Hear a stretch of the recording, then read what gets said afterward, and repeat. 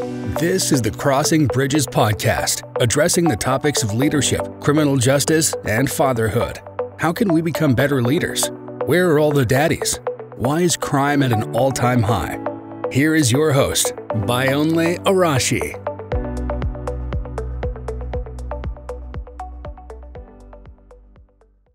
All right, it's another episode of Crossing Bridges podcast uh, with Bayonle Arashi. I'm very excited today and if you guys have been listening to the last four episodes, this is the fifth episode, and I made that, that good news uh, last time that from now on we'll be able to bring guests on the show, uh, thought leaders, uh, leaders in their own capacity that are doing some amazing work. And I'm very, very excited today to have one of them uh, on the show. And we're going to be discussing leadership, uh, criminal justice, and fatherhood. Um, I'm here uh, to discuss today with uh, Coach Dustin Wise. Uh, he is the head soccer coach for men's and women at the Allegany College in Maryland. Uh, I met this man sometime last year and he was really, really very warm. Uh, so coach, without much ado, welcome to Crossing Bridges podcast. How are you doing today? I'm doing well. Thank you for having me. All right, coach.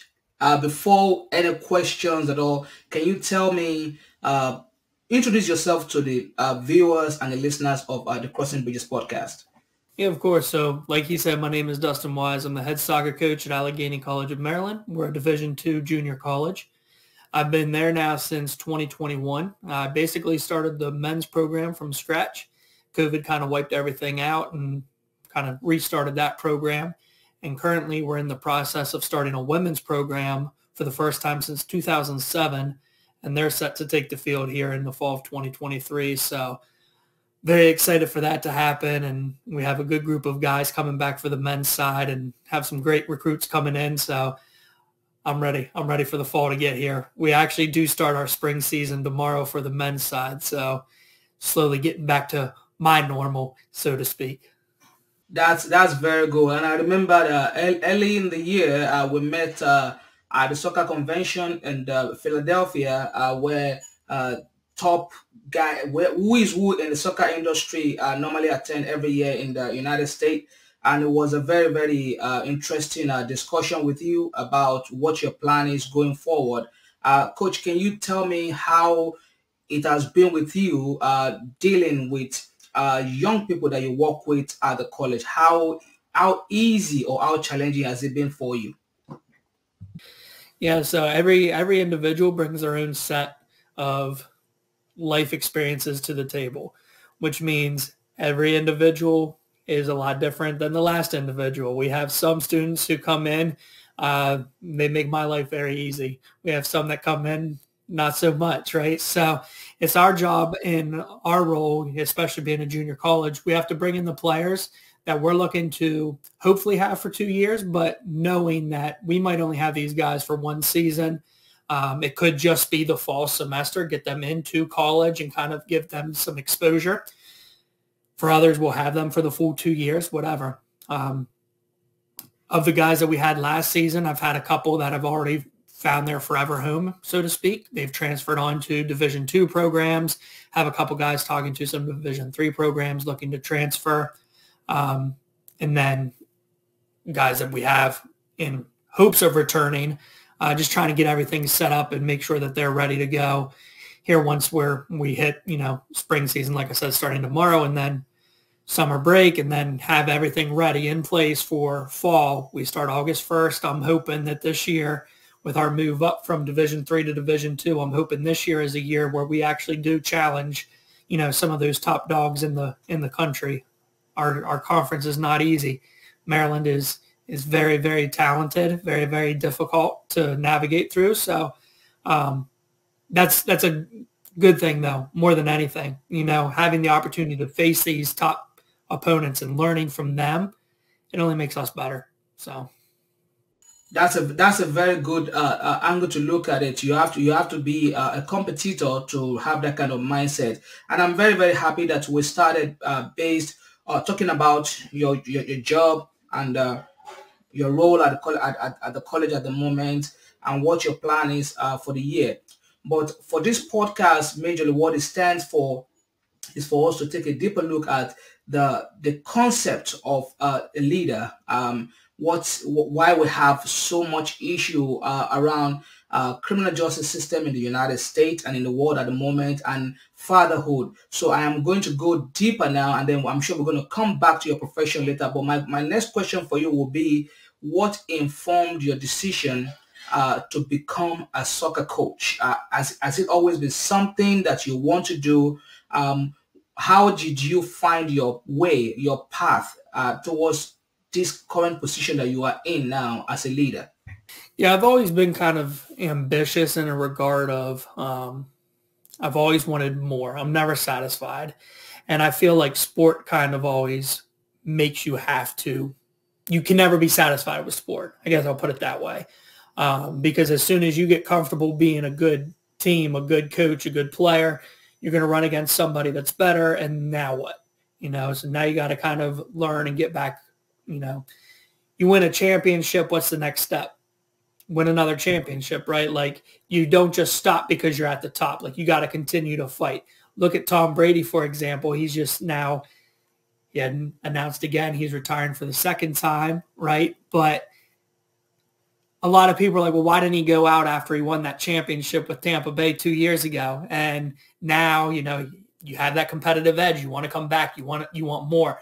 That's always been my mindset as a as an individual. I always want more, you know. So, yeah, I'm a I'm a soccer coach, but I'm also a husband. I'm a father. I've got two children. I'm currently starting a business. Like everything is, I'm, I'm pushing myself to get more out of my life because – I want more. I want more that I want something that I can then pass on to my children, pass on to, you know, my generation behind me and just continue to to help everyone around me, right? And I think that's where coaching and this also has to deal with we we chatted about this a little bit um, before talking about the podcast, but when we bring in like ego, I have a really big ego in the fact that I want to help everyone around me, right? Like that's that's my niche. Like I really want everyone around me to get better. So everything I do, I'm looking at how can I make those around me better. That's where coaching, it's everything. I get to, I get to help players become better soccer players. I get to help players become better students, help them become better men, soon to be help them become better women and tie it all together to hopefully become the best version of you. So that's kind of where coaching has kind of led me throughout the years. That's that's that's a very fantastic uh, point, and thank you very much for that answer. Uh, I will say this uh, going forward that I've always been a believer of uh, feeling that two things shaped us uh, in life. Uh, number one is our experience. Our experience shaped us to be who we are, and of course, our environment, the environment, the community that we grow up with, shaped us as well. So, for you, growing up uh, what would you say uh, shaped you to become uh, who you are today? What role would you say your experience uh, growing up with your parents and did you grow up with both of your parents? And what role did your mom and your father play in in shaping you to who you are today? Yeah so i, I grew up both parent family. Um, i attended a private christian school k through 12 um, my father, before I was of kindergarten age, so I was maybe three, four years old, my father left the business he was working for to attempt to start his own business. Uh, this almost led to our family becoming bankrupt. Thankfully, the former employer that he had worked for took him back.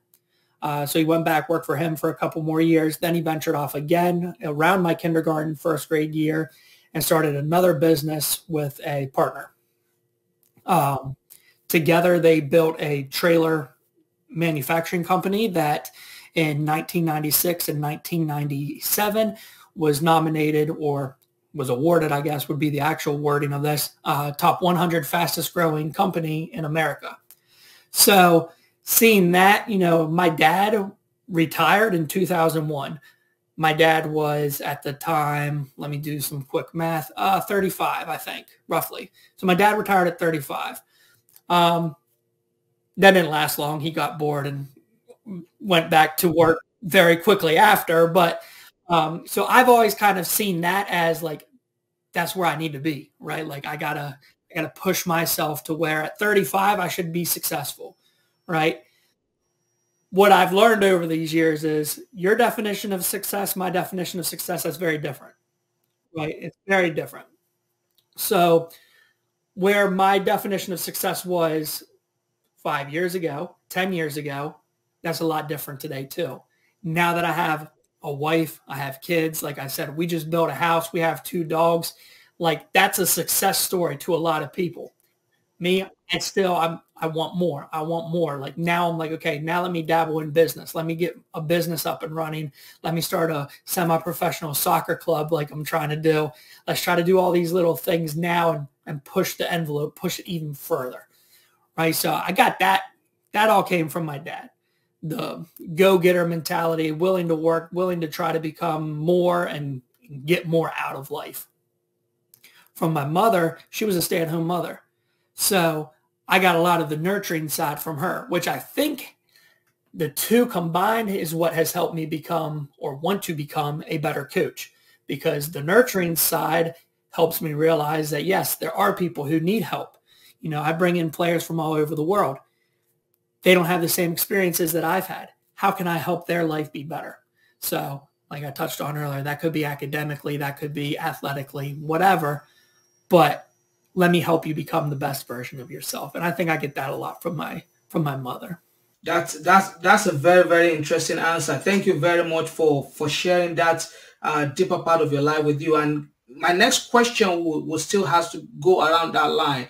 You working with uh, kids from different background um, that are shaped also by their experiences and by their environment how have you been able to manage uh, most of these kids and what has been your most um, I don't want to use the word annoying experience, but what has been your most challenging experience? What uh, demography of kids have you had the most issues with? Because for us on this podcast, the, the, the problem, the puzzle we are trying to solve is how can we help some of these young adults and teenagers to become better themselves. And of course, for the, for most of them, they always use their uh, environment as an excuse, which is okay for you to use as an excuse or saying, I grew up with one parent. We know the odds of that today, especially in the United States, is very, very high.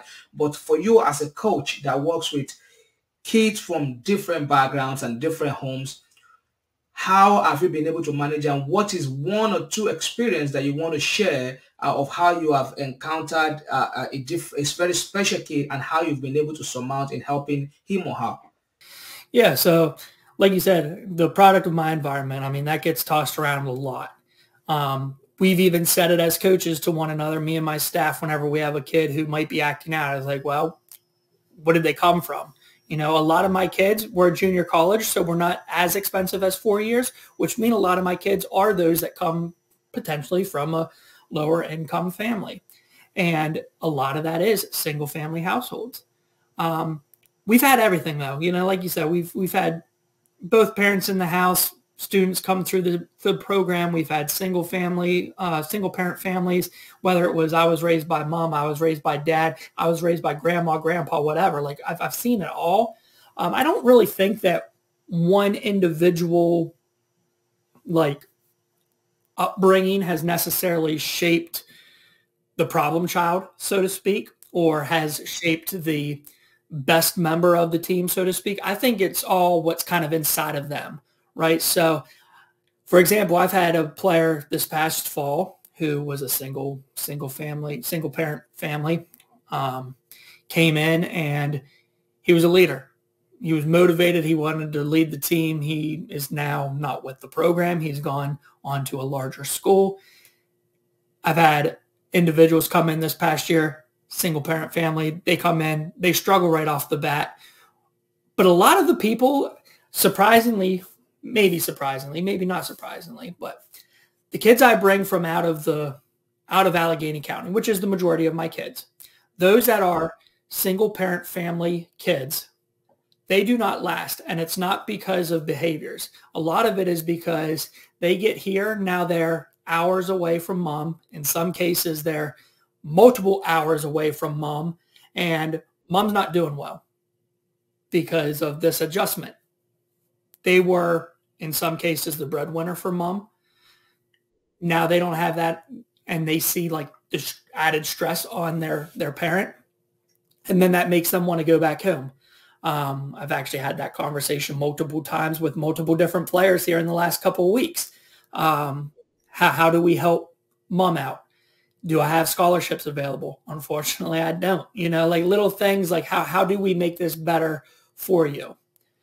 But that's one thing I think would be the best example is that a lot of these kids that come in that were raised in a single parent home they come and play for me and then you kind of see them pick up that nurturing side that I mentioned earlier where now they see all the issues that mom or dad might be facing back home and they want to go home and help. Um, and it's quick. And I'm not sure, maybe I'm doing too good on that regard because then I lose them after one season instead of having them for the two. But I think in the, the long run, you know, we're trying to make these players better individuals and we're trying to help them long term.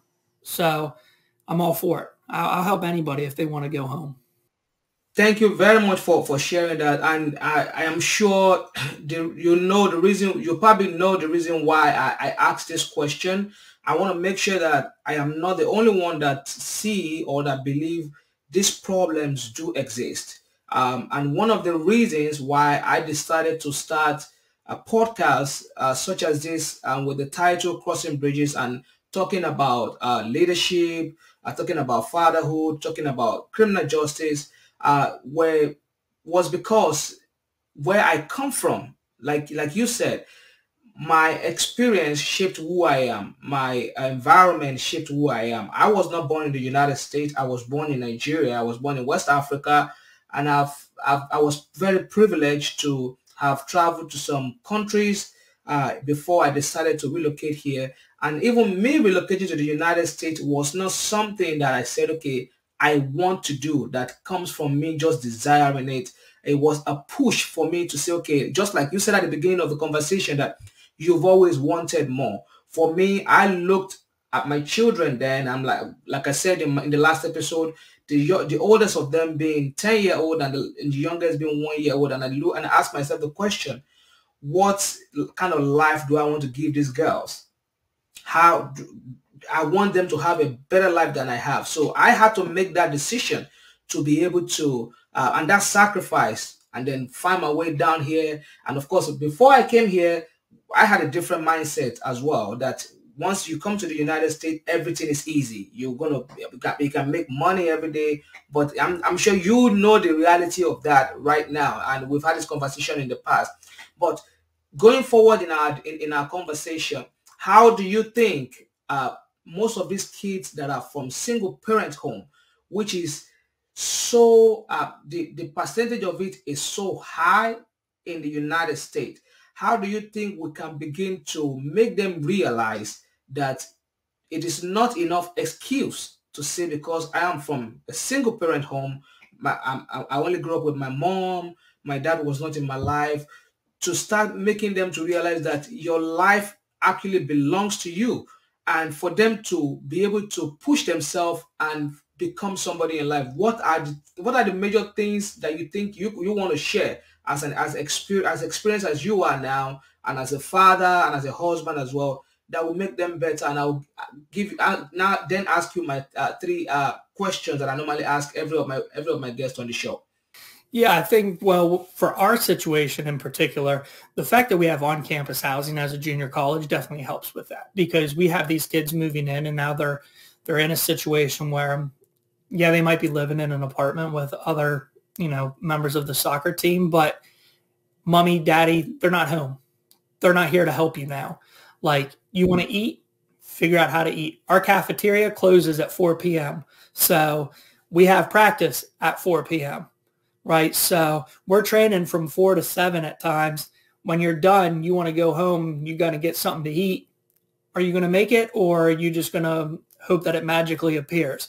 You got to figure out how to make it, right? Like you got to figure out how to get everything that you want out of life.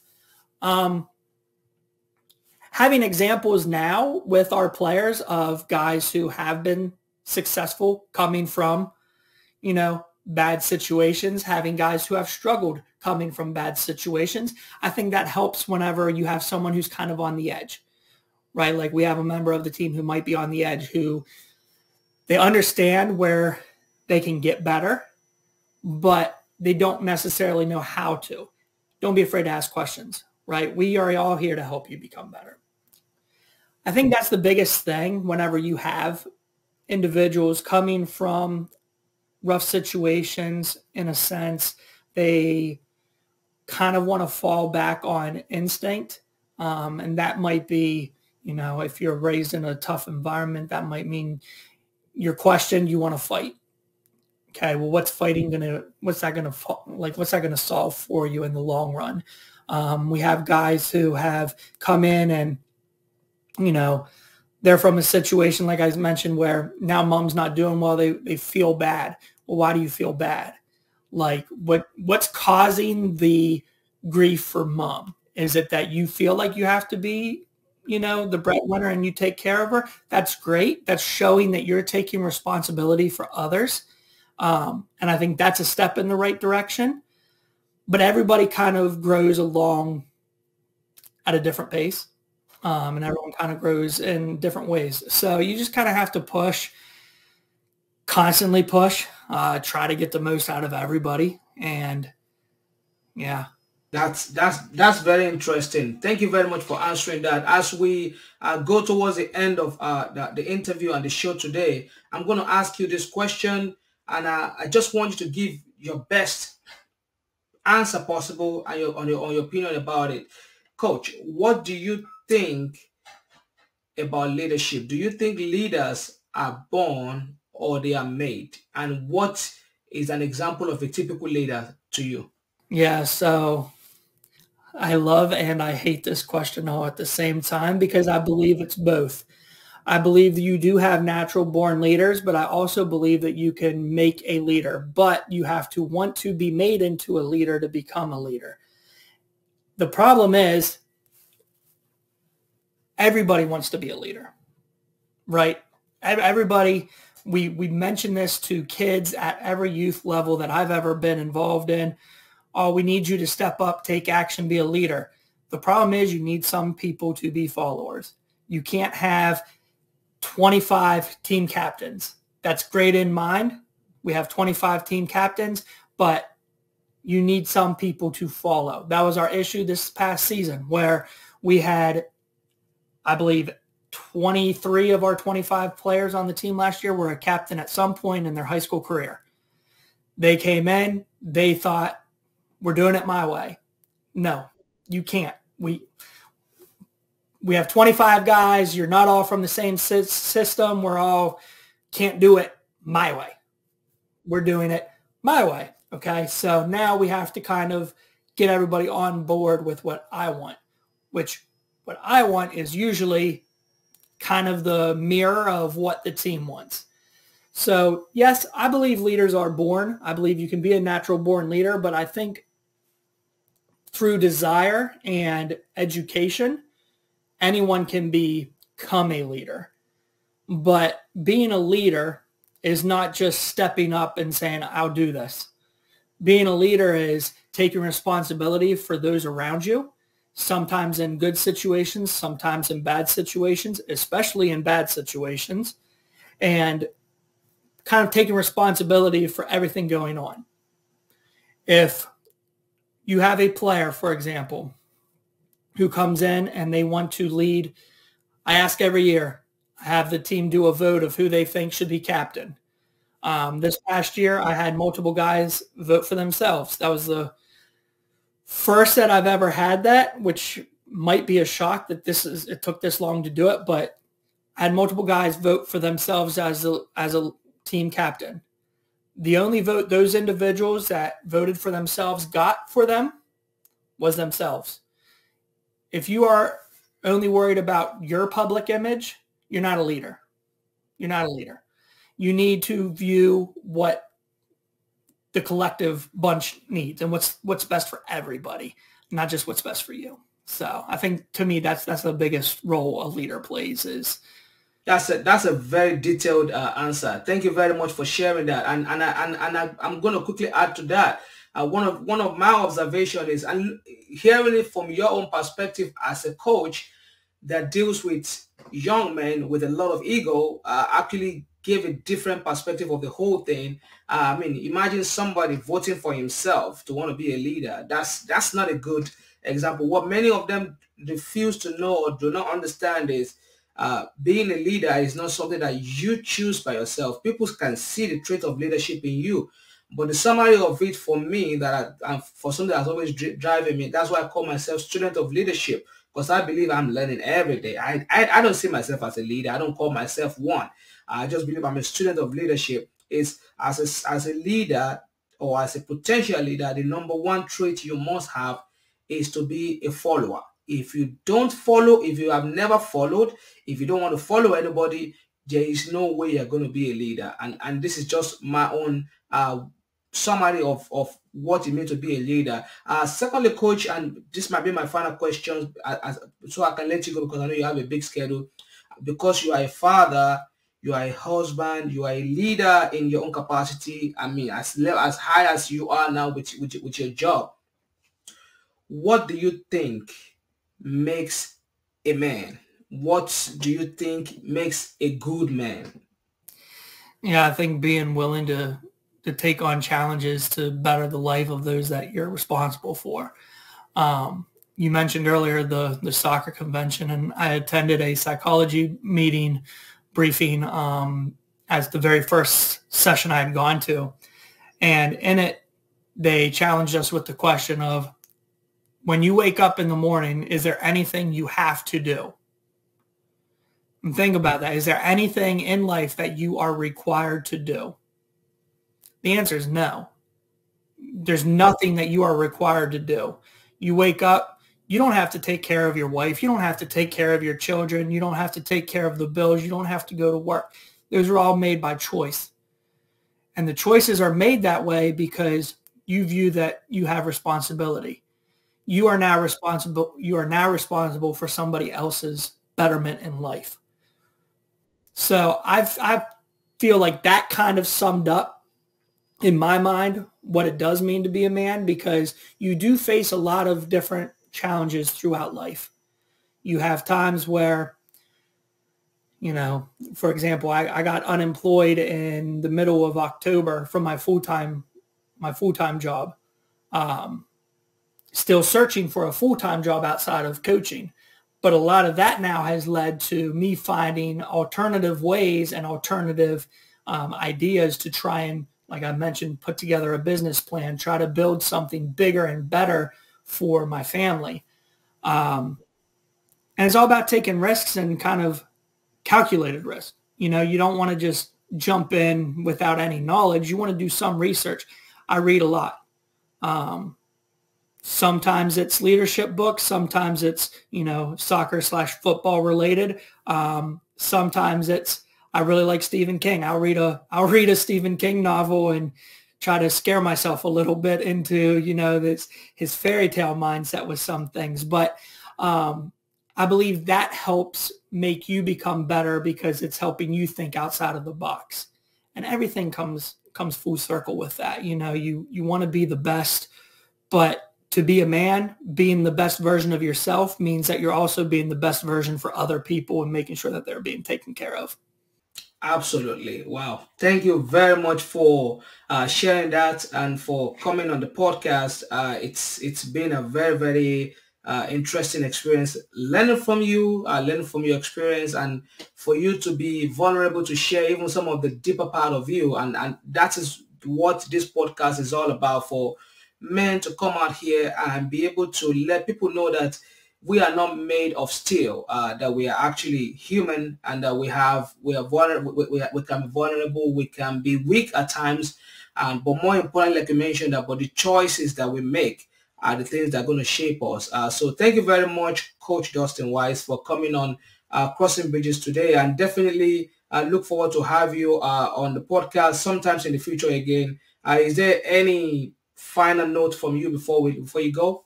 Yeah, no, I appreciate it. I'm I'm willing to jump on anytime you need me. So thank you very much for the opportunity. Thank you very much for coming. And uh, guys, that's going to be the show for today. Uh, Crossing Bridges with Bayonle Arashi. Uh, we've had the pleasure of talking with uh, Coach Dustin Wise, the head men's and women's coach, uh, soccer coach of Allegany College in Maryland uh, on the podcast today. thoughts, questions, suggestion is always welcome. And of course, I'll see you guys again next time, God willing. Uh, it's been my pleasure bringing the show to you. Have a great day and uh, God bless you all. Thank you for listening to the Crossing Bridges podcast with Bayonle Arashi. Your comments, suggestions, and ideas are welcomed. Follow Bayonle on all social media platforms at Bayonle Arashi or visit www.bayonlearashi.com for coaching and speaking engagements. See you next time.